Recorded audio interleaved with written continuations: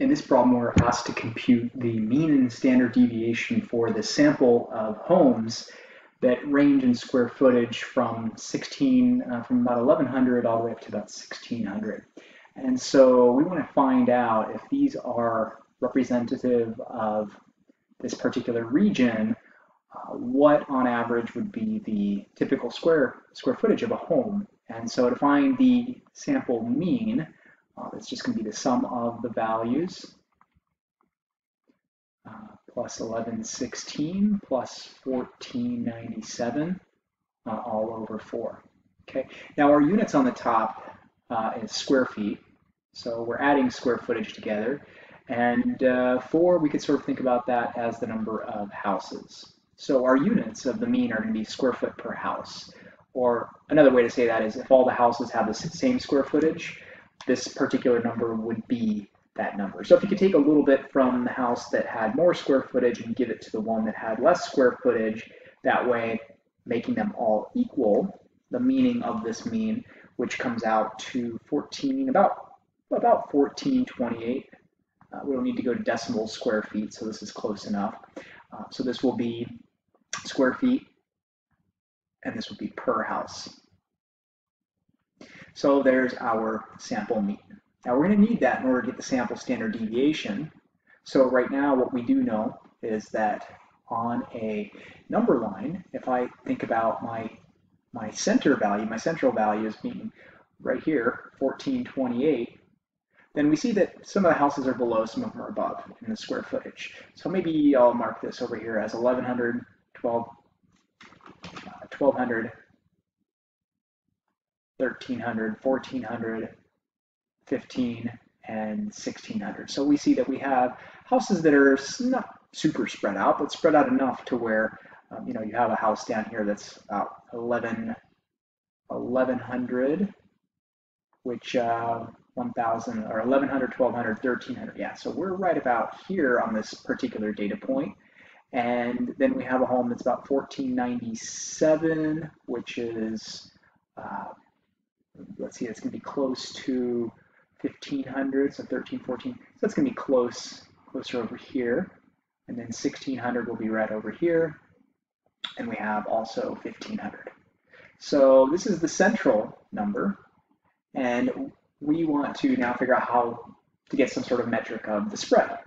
So the thing we like to do here, if we're going to, we don't often don't hand compute this, but for the sake of this video, uh, we'll just go ahead and do it by hand. So the first thing that we need to do is we need to get the the deviations, right? So we need to figure out how far each point is away from the mean. So that point, we know how far that point is, how far that point is, and also how far that point is. So what we're going to compute in part of the sample standard deviation is the difference between the value and the mean. So 1600 minus 1428 comes out to 172. And that's positive because we notice that it is greater than the mean. So greater than the mean would be a positive number, less than the mean would be a negative. So 1500 minus 1428 would be 72. Again, a positive there since that's above the mean. But this value here, 1116, when we compare that to 1428, we get a value that's negative 312 units below the mean. So we get a negative 312. Now, the one thing we should note is the reason you have more points over here uh, and only one point over here is this is an extreme point, right? This is really far, the farthest point, uh, the point that's the farthest away from the mean. And then we could also do 1497 minus 1428, which gives us uh, positive 69.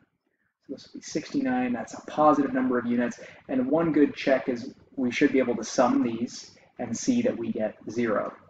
So if we don't get zero, that means that we have not found the balancing point. Either our mean is incorrect or uh, our computations are incorrect. Now we also have to take into account that we, we did round the mean. So uh, this comes out to, to, about one, but the reason it does that relative to the size of the values is just because we, we truncated the 1428. And now what we need to do is we need to square these values. And the reason we do that There's some statistical reasons. That's what makes this what we call an unbiased estimator for the population, but it also removes the sign. Uh, in statistics, we don't take absolute values of negatives because it, it creates some other mathematical problems that we won't get into. Uh, this comes out to 29,584. 72 squared is 5184. 312 squared is 97,344. And 69 squared is 4,721. And so now we should be able to sum these. These should no longer add to zero because they are now squared and therefore all positive. And this comes out to 136,873. Now this is just the sum of the squared deviations. The standard deviation, which is S, is equal to the square root of the sum of the deviations squared divided by n minus 1, where that's the number of values minus 1. So what we just calculated here is this is the sum, that's the addition of all of the deviations squared. Whoops, I did a parenthesis there in the square, so squared. And so now we know that this is going to be the square root of 136,873 divided by 4 minus 1, which is 3. And the square root of that divided by 3 comes out to 213.6, or about 214 square feet.